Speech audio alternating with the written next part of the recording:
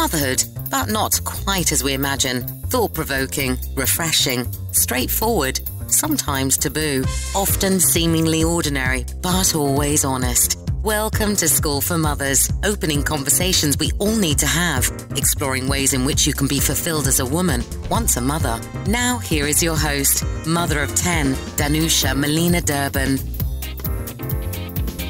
Hello, and welcome to this School for Mothers podcast. I'm your host, Danusha Melina Durban, and this episode is all about relationships at Christmas. And I'm joined today by Alexandra Stockwell. Alexandra is a physician turned relationship and intimacy expert, known as the Relationship Catalyst, creator of the Conscious Partnership Program, and author of her newly released book, Uncompromising Intimacy. For over two decades, Alexandra has guided men and women to bring pleasure and purpose into all aspects of life, from the daily grind of running a household to learning clear and intimate communication, onto creating ecstatic experiences in the bedroom. Sounding good. I like it. As a wife of 24 years and a mother of four, Alexandra believes the key to passion, fulfillment, intimacy, and success in relationships isn't compromise. It's being unwilling to compromise because when people feel free to be ourselves, themselves, and know how to love and be loved for exactly who they are, relationships become juicy, nourishing, and deeply satisfying. Now, Alexandra helps build connected and happy families through facilitating healing and transformation for couples. When I was designing the Christmas series, this mini series on School for Mothers, it was obvious that we just needed an episode dedicated to relationships at Christmas. So here we are. If you Google relationships at Christmas, the results are pretty stark. The question, will your relationship survive Christmas, comes up a lot, as does the word wreck. Hmm, that's not too positive sounding, is it? I'm really hoping, and I actually know, that Alexandra will have some wisdom for us. I won't keep you waiting any longer. Let's get started, shall we? So, welcome. Welcome to today's episode. Danusha, I'm so glad to be here. I, you know, I, it was totally obvious to me that you had to come and tell us about how we can possibly smooth those relationship waters and those tensions that obviously come up over Christmas. I mean, don't they? Do they come up for you? They don't anymore, but they used to. And I'm very familiar with this phenomenon. I think the reason that they used to come up and they don't anymore is because I fell into one of the most common traps, which is uh-huh. that we all have images of how we think it should be, either because it's exactly what we had in childhood, or much more commonly, we didn't have it. And so we want to compensate and do better for our children. And so we have this kind of idea of what the perfect holiday will be, which invariably isn't what occurs. And that is so stressful. Oh, it is. It's that gap between how we think things ought to be and what we can realistically create, isn't it? And and also we try and step into what they want, whether it's our children, our partner, our family, what, whatever. You know, it might be exactly party, anybody, even down to writing Christmas cards if we still do that. You know, what kind? Exactly. Ugh. I think the holidays just turn up the number of shoulds that we have to navigate.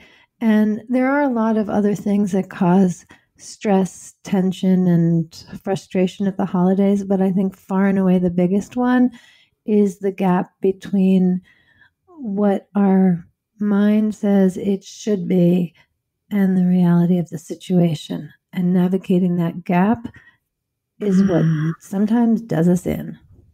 It does. So as you're talking, it has never occurred to me quite, I mean, you'll see why, never occurred to me to do a survey for my family, for a Christmas survey, a simple survey asking them what their hopes are for Christmas. I'd love to know, you know. Yes. And I would imagine that the younger children, let's say, oh, four to eight, may have responses related to toys and gifts. Although Yeah. not necessarily only, but I think those questions are particularly interested interesting with older children who have enough objectivity and inner awareness to feel that societal capitalist pull between acquiring more stuff Mhm. and just how good it feels to be together laughing and eating treats. Yeah, actually, it, it's true. It's the togetherness, isn't it, that we tend to really like. Well, I, actually, I don't know. Lots of people do really enjoy material things. That's that's their that's the high highlight of the year when they know that they're going to get their special whatever it is piece of tech or. And I do I do hear people say that, and and it isn't it isn't for me. It's it's the togetherness. Well, and with real respect for anyone who looks forward to their piece of tech, I think part of it is that we've we've gotten confused about how we actually feel fulfilled. And Hmm. so I really think of gifts and Santa Claus and the abundance of wrapped things to give one another as a kind of analogy or stand in for the gifts of soul we want to be giving and receiving at the holidays. Oh, say a bit more about that. I like I like this idea. Well, actually, I think one of the ways this comes up is when a child has been so excited about Santa Claus and then starts becoming a little skeptical and asking questions. And the way that I think it's best to navigate that conversation, I'll keep it a little obtuse, shall I? Because we don't know who is which ears are listening while the podcast plays. Yes. Mm, So-. I really, I'm 51 and I absolutely believe in Santa Claus because Santa Claus is the description that we give for generosity towards others in the holiday Mm. season. And Mhm. I think it's so lovely when older children shift from becoming recipients of Santa Claus's generosity and abundance to perhaps being a helper for Santa Claus and providing Mhm. gifts for others with that same energy. And likewise, if we're wanting that piece of tech at the holiday or really looking forward for that big ticket item, while that can be very genuine, of course, I also think it's a kind of a stand in. It's the it's the way in our society we have permission to talk about our yearning for more connection and feeling better and giving and receiving, which really is a way to feel like we belong. Yeah, yeah, those to as you say, to belong, to be connected with others, to be special, to be of worth, to feel loved, Yes. to be loved. Mm-hmm. Exactly. And so I think the important thing is to really get clear that that's what the holidays are about. They're about being connected with yourself, being connected with the quality of your life, being connected with the important people in your life, and to have that be the central theme and then build everything else around that. And uh, one of the ways to do what I just said that is actually practical is rather than having invitations and opportunities coming towards you, children's performances, work parties, all kinds of things, rather than responding to all of that input, now, as you hear this interview, to decide what is the feeling you want your holidays to have. And get really mm. clear both how that feels and maybe pick a few adjectives like peaceful or exciting or whatever it is that you'd like to be feeling. And i think it's beautiful when you have children who are old enough and also with your partner to decide together what what is the feeling we want to share at this holiday and then use Mm. that as the parameter for de- deciding which activities you want to participate in, how busy you want to be, because there's something magical about slowing down rather than speeding up for the holidays. Yeah, there is something very magical. I had a wonderful conversation with Sally Smythe the other day for this mini series about Christmas. And uh, she owns Queen Bee Styling. And so it was all about clothes. And we were talking about obviously what to wear, and she was mentioning about dressing up for Christmas Day. And I was like, wow, okay. I can remember, by the way, my, my parents, my mother used to always buy me or or make. She did a lot of um, you know, creating beautiful outfits herself for me. But she used to have, you know, a, a special Christmas Day dress for me. But actually, what I in in the spirit of slowing down and truly cozying, which is one of the adjectives cozy that I would that I would, you know, warm, warmth, just togetherness. I actually love wearing pajamas on Christmas Day. I, we don't often go out. Sometimes we go out for a walk. I've been known to stick some Wellington boots on, um, you know, over my pajamas. I actually, it's testament to want to to engendering and kind of embodying that slowing down that I don't want to posh up and dress up and glitz up and I glamour. I love that, Danusha, and I also think I think that's so wonderful, and it's you choosing what you want to experience and then allowing everything to fall in place around that. And that really is the key to de stressing the holidays. I personally don't think there's any moral superiority to being in pajamas and cozy or dressing up in one's finery if that's the thing yes. that's really exciting. They're, they're mm. truly equivalent. But the key is to be clear about which is the thing that's going to be most lovely for you and then do that. I think that is really principle number one in de-stressing the holidays. And principle It is. So can I just say something before you give us another wonderful principle? Because I, I, in in having conversations about clothes and really getting clear on what we want to create, how we want to feel, I'm actually this year, or I'll report back at some point. I'm actually seriously thinking about, you know, making an effort this year to actually change change that and wearing something. I've got some beautiful things and, and really, you know, wanting to do that. But I think what I notice is that when there's a rule in the house that everyone has to glitz up or, you know, dress up or whatever, it becomes a problem. And so what I want to make sure is that if I've got older children who want to be in their pajamas, then that's perfect because as you just said, it's equivalence. There isn't a better way. I think sometimes it, it becomes there is a better way. And actually, it's meshing all those different needs in a home that can get tricky.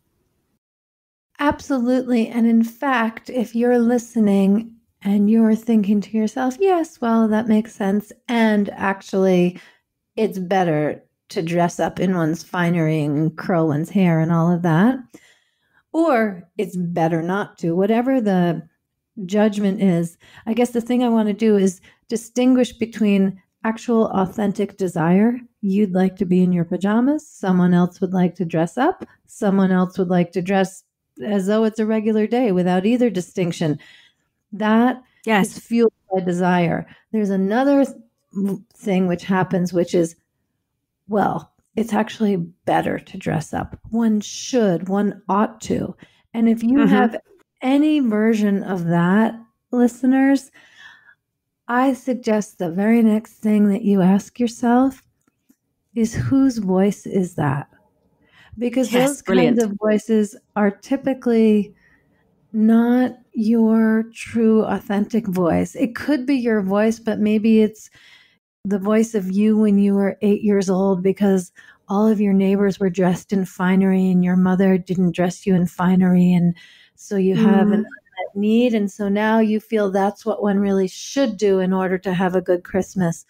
Or when you ask yourself, whose voice is that? It may be your mother or your grandmother or a neighbor who teased you, whatever the case may be. I think in imagining how you want the holiday to feel and then how you're going to dress, but of course, it also includes what kind of food you're going to serve and how mm-hmm. early you're going to get up in the morning and whom you call or don't call. Like this applies to really every single element of the holidays to really clarify what is your desire and then what are the choices you're going to make so that that's what you experience. And mm. also contrast it with what's the should or the judgment or it ought to be that way. And if if you have that to ask yourself whose voice is it really? And sometimes just getting clear about it oh my gosh that's my grandmother is enough to let it go and other yes. times it's not and then at least you can dialogue with that part of yourself rather than bringing your whole family along with trying to please someone who may not even be alive but is a voice in your head. Mm, perfect. Absolutely brilliant. Thank you.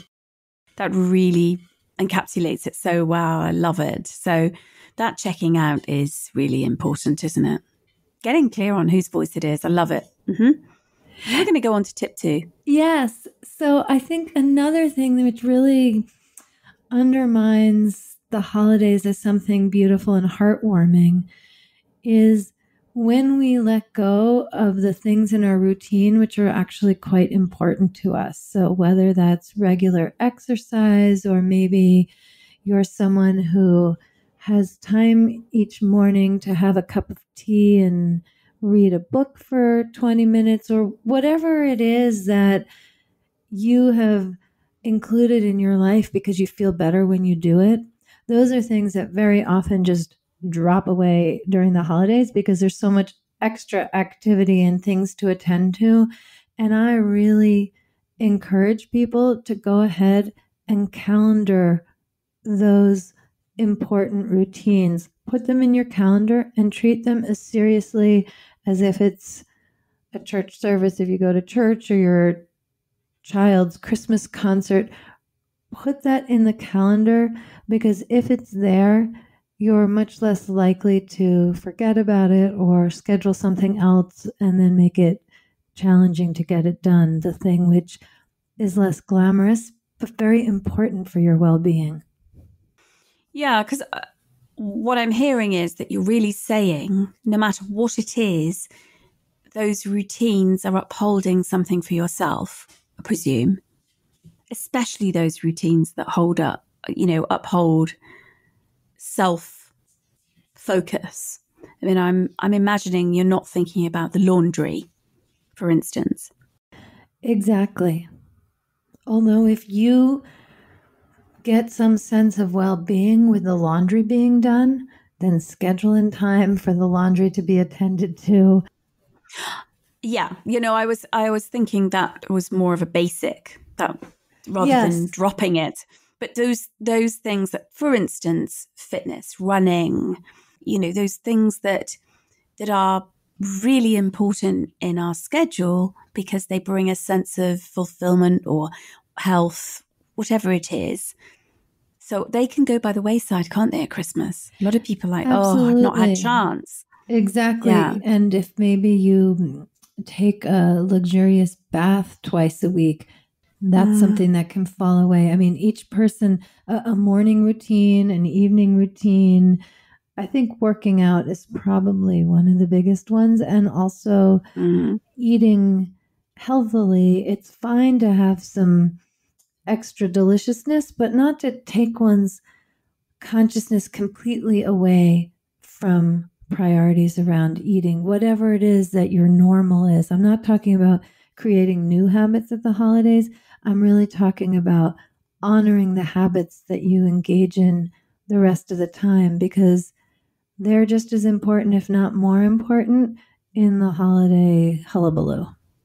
Mm, yes, exactly. So keeping that grounding going for yourself. Mm, yes, definitely. Wonderful. Now, tip three. I bet you've got one. I do. This one is interesting because it's not in the realm of soul in the way the others are, but it affects the soul. And that has to do with finances. A lot of mm. making the holidays wonderful, especially in families, correlates with spending far more than at any other time of year.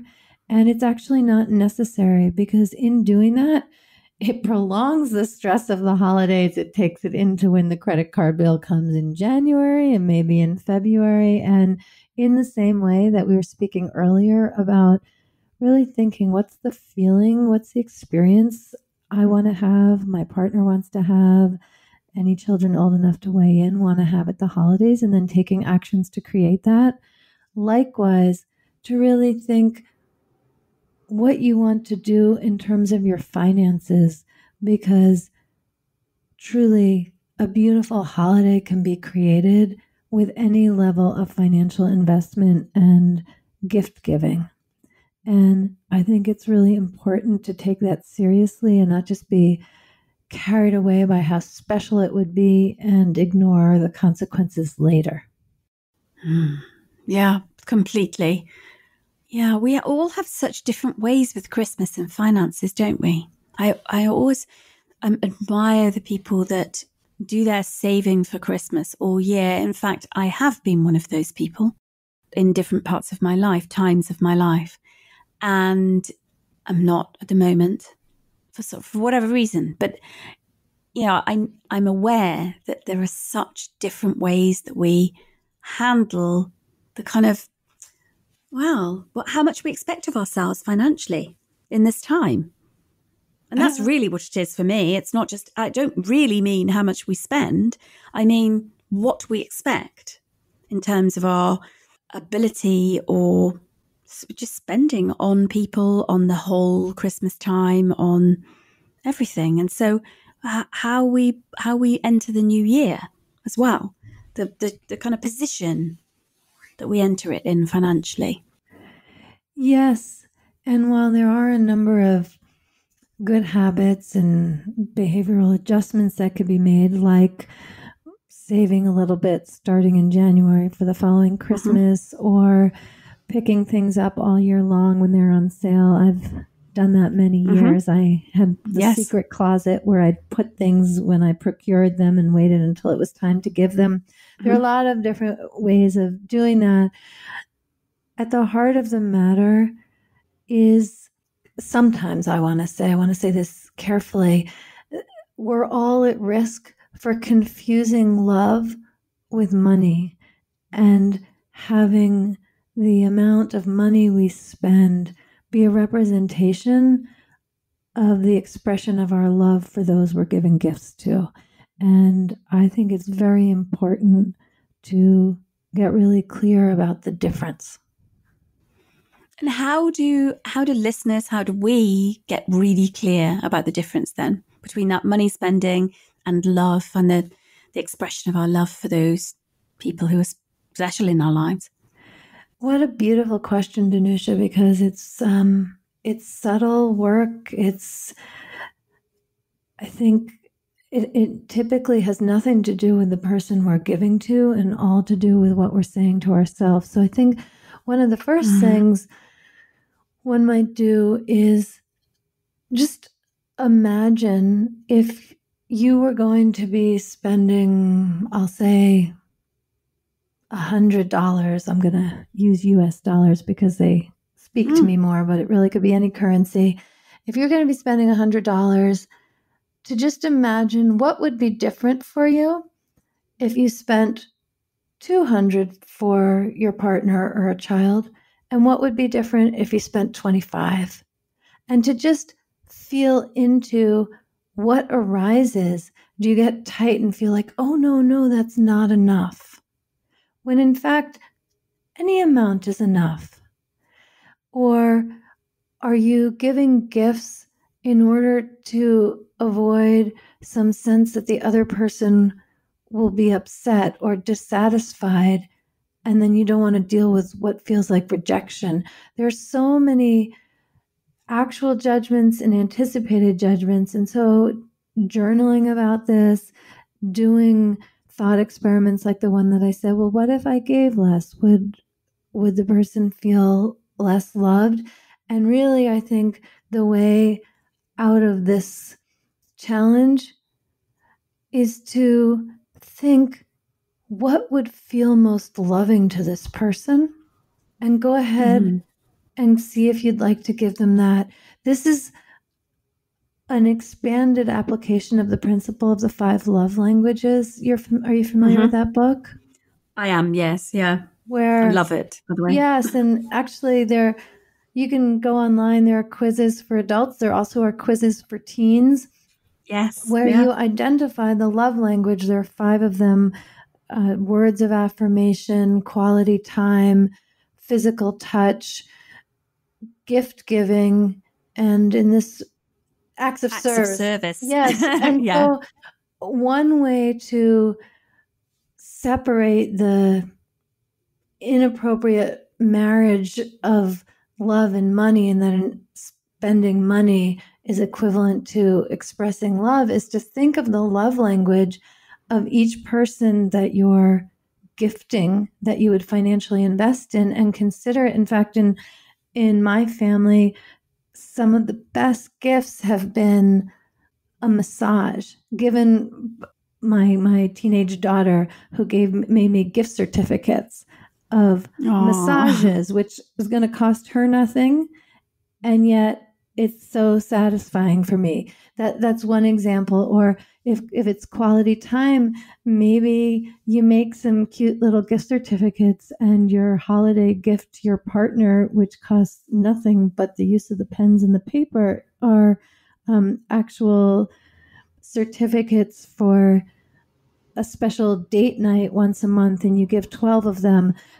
When you really look at how to be loving in a way that feels good to you and feels really nourishing to the person you're giving it to, there's a whole new realm of gifting that becomes possible. And that is another way to disengage love and money and expressions of love as equivalent to the amount of money spent. Mm, perfect. Absolutely. I love love languages. I mean, I'm, I've done them with, um, apart from the triplets, so seven of the children, my children, and they're so important. And I, I really adore the way that uh, the distinction of the way that we tend to show love is often, I mean, for a start, it's generally not the way that the person that we're giving it to feels loved, but it, it does give us a very good um, idea uh, into the way that we feel loved. So if somebody is sh- showering you with, I don't know, thoughtful, thoughtful gifts, you know, little thoughtful things, then you can be pretty sure that that's how they feel loved. And, and it might not hit home, might it? It might not actually engender the love that they're hoping because actually yours might be quality time. So they don't have much time, but they shower you with gifts. And these don't need to be expensive gifts, of course but if it, it'll not land. So it, it is really, it's something I work with, but also I'm really attentive to, and not that I do it well, by the way, but attentive to in my family. And does it influence what you what you gift in terms of holiday gifts, or in um, how you are with one another during the holidays in some explicit ways? Yes, I think it does. Absolutely. Yeah, it does. It it definitely does. Um, I think the trick, the, the the thing that I found is that when my awareness shifts off love languages, I can get caught up in. I just forget it. I forget that that's the heart. What this is about, and you know, this holiday season is about showing great love. It for me, it isn't about giving expensive presents. It's a lovely opportunity to give something that somebody really would love. But it's not about a demonstration of financial fluidity, if you like, and a kind of, well, yes, I, I managed to buy you X amount of things that would cost this much. No. So I think it really does fundamentally change the uh, way that that I gift things. So it was my daughter's birthday when was it? Uh, last year. I mean, obviously she has one a year. We know this, but the one I'm thinking of, yes, she's not an unusual person. Although I do have, I do have a child with a, a leap year child, so he doesn't have one every year. So oh, I'm forgiven. I'm forgiven for for, uh, for, for saying that. But actually, I have a, a, a child who who was born on the 28th of February and and very nearly was born on a leap year day because it also was a leap year that then I almost had two children. So, but anyway, back to Isadora. She, I was thinking what would be great for one particular birthday, and and I just knew that what you know, she's a, a very ardent feminist and very vocal and really proud and stands in her feminism. And so, you know, there were, and it was a special birthday. It was her 18th. And I've thought about all sorts of things that would mark that and celebrate it for her and something to really remember. And then I thought about her love languages. And it, it, what we did was a feminist tour in London together. And it involved, you know, a tour guide and some other women. On this particular tour, there were only women. And it was torrential rain absolutely British torrential rain. and neither of us like being out. Who does? But so, I guess some people do. Uh, it's just not our thing. But it made this incredible memory, not just because it was raining, it was so funny. Uh, it was so not our kind of thing, but it was a, a brilliant blend of quality time with there was a lot of positive affirmations in there because it was celebrating in, remarkable women, women who had carved out the world for us to live in. And it was really bonding. It really was. Despite the bloody awful weather, it was wonderful. So I think, you know, yes, it does inform. I could have got her, you know, an expensive piece of jewelry. And I don't even think that costs much, but I'm telling you, we giggle so much about this wonderful event. I just love that. And I really think that is the crux of harmony in the home at the holidays is really finding the authentic way to express love so that it's received that way. You've given a gorgeous example of it. And it de stresses the financial burden. And I also think another component of that is there is an age when children can understand what's going on with the money, with the stress, with the family dynamics. And as parents, I don't presume you do this, Danusia, but in general, parents continue to feel like that's all their responsibility. They're the parents, let the children be the children. And I think that that encourages a kind of entitlement and indulgence, which doesn't do the children a service to, mm-hmm.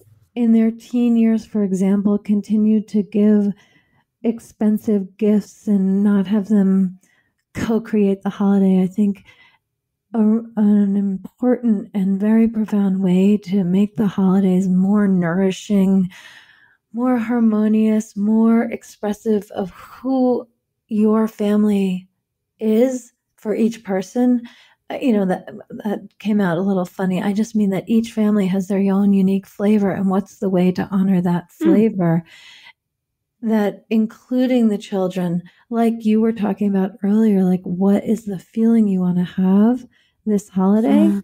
and then what are the ways that we can make that be what we experience it's actually a lot simpler to figure out how to create that feeling than it is to figure out what the feeling is or what the best expression of love is.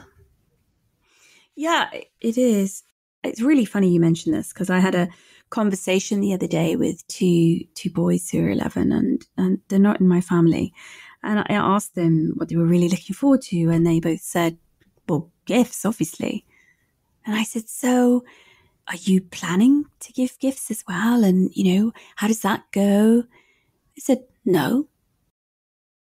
I said, Oh, okay. Well, do you give anybody gifts at Christmas? They're like, No. And I said, Oh, okay. And why is that? And they said, Well, mummy, mummy wraps something up for us and and she she gives it like we've done it. And I said, But what about you two? And I said, When when are you when are you actually going to the twins? And I said, When are you gonna do that for yourself? Take responsibility. They said, um, well, when we're 16, 17, maybe. I was like, wow. I was I, I was really struck because it's the it's in what you just said earlier, which is the co-creation of stepping up to create, you know, to build the feelings that we want. It isn't about money. It may be that the child or the children wrap something. I've had gifts that my children have wrapped a toy from them. I mean, it's it's adorable. A, a picture that they've created for me. It's not in the buying of it. It's the very thought that goes into it that is important. So when we when we exclude our children from the creation of the festive season of this holiday, well, I think we're doing them a disservice. I really do. I agree with you. And I think that children have the great capacity to open gifts Christmas morning with all the surprise and glee and delight that we're familiar with. And pretty much to a comparable degree, children have access to the very real pleasure in giving gifts to other people. And I've actually striven in my own family to have the children make things as early as possible and as long as possible before they transition into purchasing things with money. Mm. Because, like, currently, my eight year old has, there are six people in my family, and he has already wrapped one or two gifts for every single one of us one was purchased, and uh, I took him. He wanted to buy his sister a piece of jewelry, but everything else he made himself. They are all wrapped, and he can't wait until Christmas mm. morning. Yes, he looks forward to receiving gifts, but right now, there is more excitement in the giving of the gifts to other people and seeing their delight and their pleasure. And I think uh, we often forget that. I don't know what the tradition is in England, but more and more, in my experience in the United States, at birthday parties, the family who's hosting the party will take the gifts home so that the birthday child can open the gifts at home. And I believe the idea with that is so that the children who are guests at the party don't feel badly or get bored or in some way have an unpleasant experience because there's so much attention on the child whose birthday it is.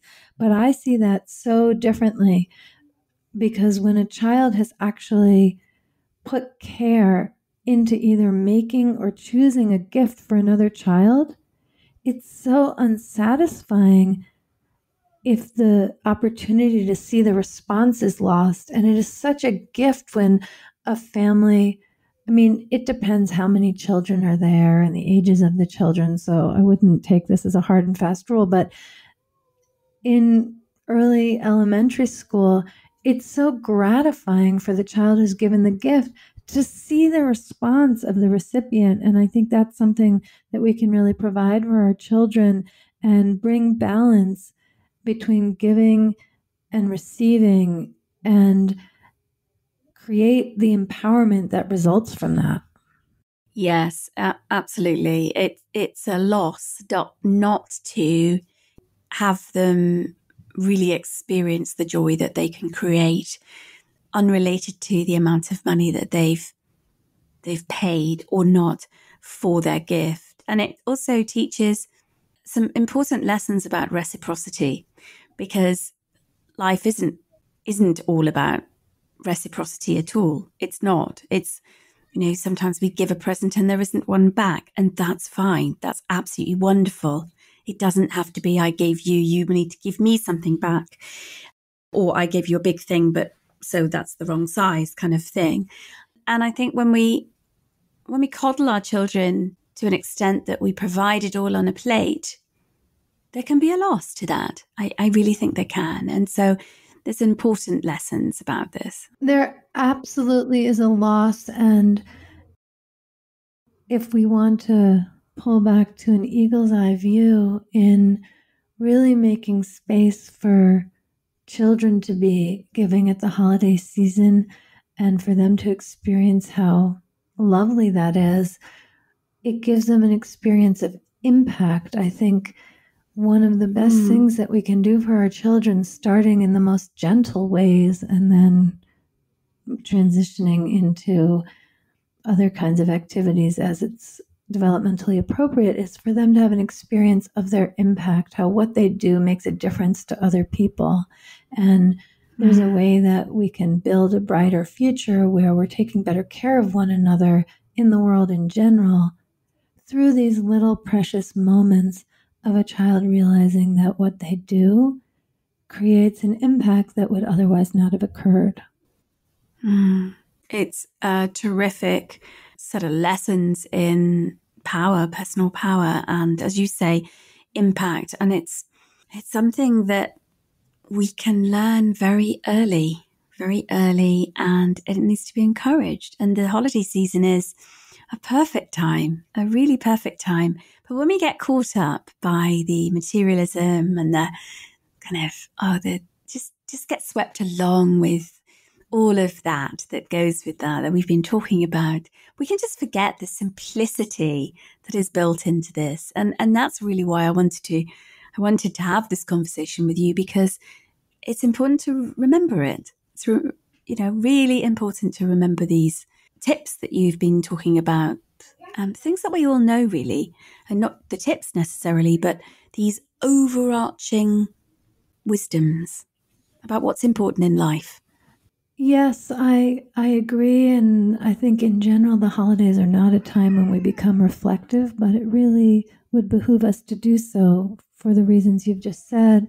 And I want to add mm. with truth, clarity, and frankly, compassion that just as most people have a birthday every year, the holidays come every year, and it's not about perfection. This really is the kind of thing where you maybe go far in one direction one year and you realize, oh, that was too much. And then you shift it for the next year. And it's a constant yes. evolution. For yes. me, it hasn't really been about mm, making it too materialistic, but I have had some years where the holidays were just too busy with a significant collection yes. of children and each one has performances and school parties and mm-hmm. holiday parties with friends and family parties and my husband's work party and then there's this performance and that performance and the number of activities that I have ended up committed to in the month of December is about as many as in the prior nine months. And so I had yep. one year mm-hmm. when my um, children are musicians, and so the, they were performing in the lobby of a bank, plus their usual concerts and charity concerts at the nursing home and in the hospital. And if I looked at each activity, it was lovely. And that's why I said yes and put it in the calendar and got us all there. But the overall effect of each of those lovely, valuable activities was that we kind of just stopped breathing and we needed to recover. And just as I like to plan vacations so that I don't need a vacation from vacation when I get home, for me, it's the way to really create the feeling I want and to co create the sense of togetherness and belonging and all of the different things we've spoken about. For me, that really is in maintaining sanity in the scheduling and to really look at the overall month and responsibilities and use that to decide whether or not to say yes to an additional commitment rather than the merits of the thing on its own. Oh, yeah. I guess the one of the reasons that I didn't say about busyness is because uh, because I've got so many children. If I set up my life where I did everything with every one of them to that extent, you know, here, there, everywhere, all of them had, I wouldn't be able to cope with that. So, in fact, I've done that and know how, well, insanity making, as you called it, you know, insanity, that it's, it, that it, I don't do that anymore. So I pare, I pare things back as much as I can. I'm really ruthless about it because there's enough on our plates in December without all of the things that we could be doing. So yeah, I think it's, I'm so glad you said it because it's actually the thing that one of the things that totally takes us down, women, you know. Completely. And it's a little bit like going on a diet. If you are used to eating a lot of dessert, the hardest thing is to stop doing that. It's actually easier to then maintain that. You lose your sweet tooth. And likewise, I want to give people courage because it's hard the first year because it feels like you're saying a lot of no's. But I don't know anybody mm. who's done this who ever looked back and wished they'd done more activities. And then you have a new standard, a new reference point, a new normal for the family. And it's much e- easier to maintain that in years to come. Oh, there is hope, you see. I'm so, yeah, there is. And, and I'm so super grateful for this conversation. There are so many nuggets of uh, wisdom in here, so many tips and gentle reminders of, of this holiday season. Thank you so much for this. Danusia, thank you so much. And uh, I've learned from your stories, so I look forward to sharing that with people in my circle as well. Oh, well, happy Christmas. You too. A huge mega marathon thank you to Alexandra for joining me on the show again. What fabulous advice uh, that I have no doubt is going to come in ever so handy over the next few weeks. Listeners, be sure to take a look at her work and buy her book.